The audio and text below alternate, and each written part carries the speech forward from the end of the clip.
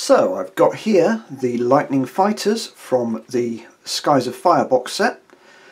Uh, you get three per sprue and you get one sprue in the Skies of Fire box. So what I'm going to do is I'm going to show you how to build one. Uh, I've got the sprue, I've got some plastic glue. This is in fact Games Workshop glue in a Tamiya pot with a brush applicator. Clippers, uh, these are the ones I got free with Conquest.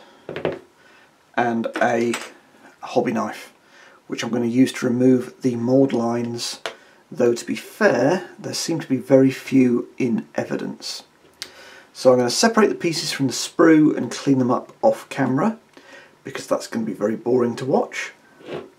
There's no particularly small fragile bits that you need to be careful of removing them from the sprue, except for perhaps these las cannons here.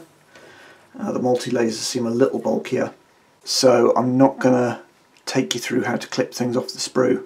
If you've got a particularly delicate piece, then cut it away from the edge that it is, not necessarily right next to it. Particularly if it's a lot thinner than this. I'm thinking things like, I'm trying to think of some things thinner than this, but you get them occasionally. So I'll come back in a second with the pieces cleaned and ready to assemble. So I've got all the pieces cleaned. As you can see, uh, if you exclude the ordnance, this is a 12 piece kit. It's not super complicated. Uh, if you are going to use all six missiles, and you get 18 missiles in the kit, um, 12 Sky Strike, 6 Hell Strike, then I would recommend you attach the missiles to the wings before assembly because if you leave it until afterwards the inner two spaces you're going to have trouble reaching. Whether you want to uh, use all six missiles per plane is up to you. On a lightning strike that would make it 29 points which is, and this is the wrong way round, a lot of points for a fighter. These kits are a lot less complicated than some of the Ork kits. So, the main hull is literally just two parts, And I think the fact that it is less complicated is why it can afford to be the size that it is. There you go.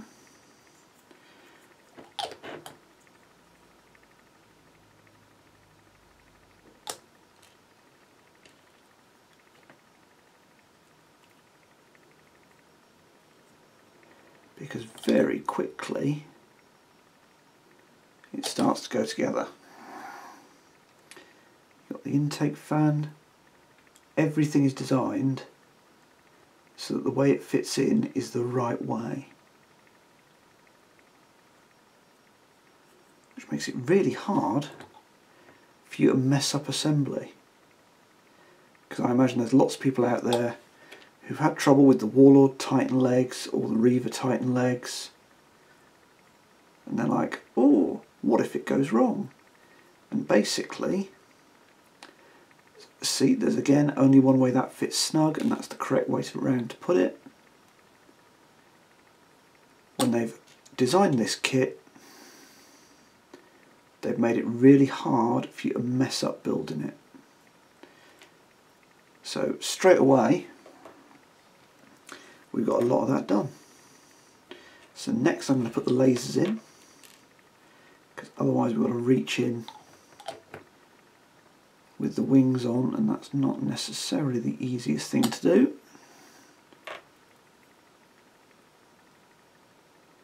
One.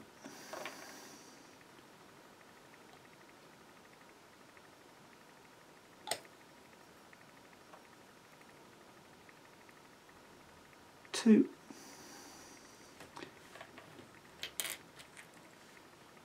Let's sort out and plug in one wing.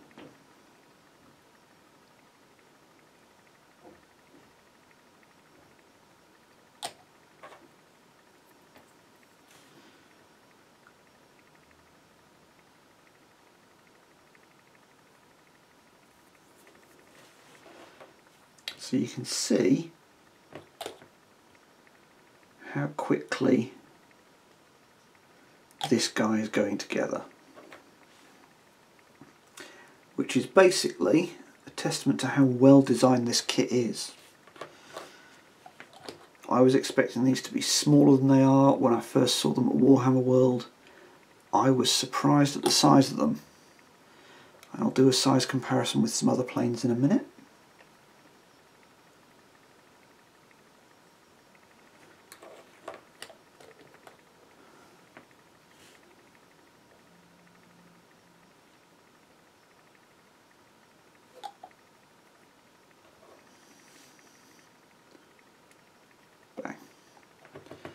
That is a built lightning. That's how quickly that goes together. For size comparison, we've got a Dakka jet. Now Dakka jets are smaller, but Dakka jets are how many pieces? One, two, three, four, five, six, seven, eight, nine, ten, eleven. Well, not necessarily more, but they do seem more complicated. I imagine, yeah, 12, because of the number of pieces involved. So the hull in this is two pieces with another one for the cockpit, and then suddenly it's got a shape and it looks like it's going together.